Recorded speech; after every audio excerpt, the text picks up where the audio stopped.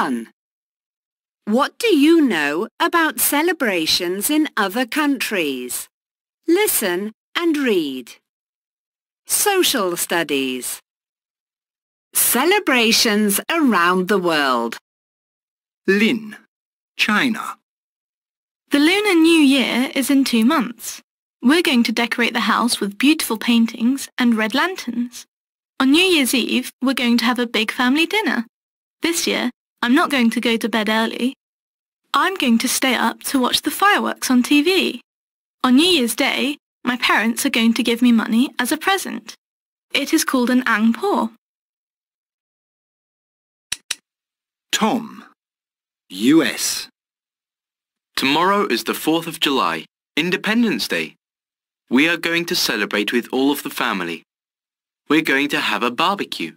My dad is going to cook burgers. In the evening, we are going to eat ice cream and we're going to watch the fireworks at the park.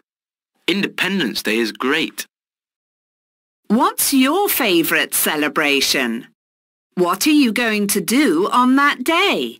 Write and tell us.